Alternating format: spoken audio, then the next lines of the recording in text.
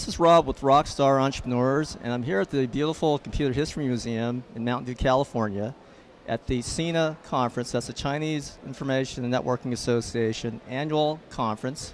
And I'm speaking with Vicki Young, the president of CINA. Vicki, how's it going today?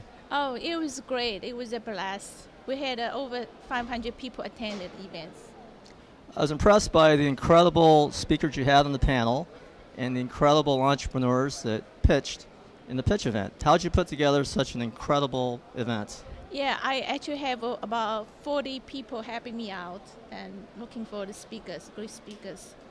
And uh, we planned from for, for four months from planning the idea, the topics, everything.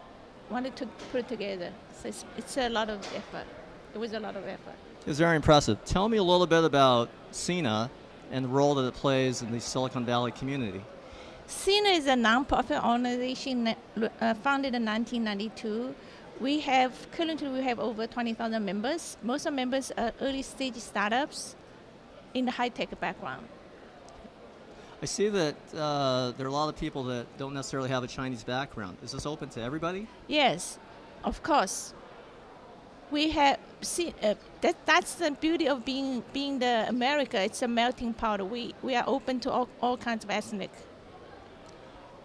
Now, what are some of the benefits of a CINA membership? Being a CINA membership, first of all, they can get get chance to learn um, how to become a leadership uh, and also be connected with the industry leaders. How many events per year do you have? We have about over 40 events a year. Okay. Sounds exciting. I'm going to get a membership myself. Now, how are you going to top this event next year?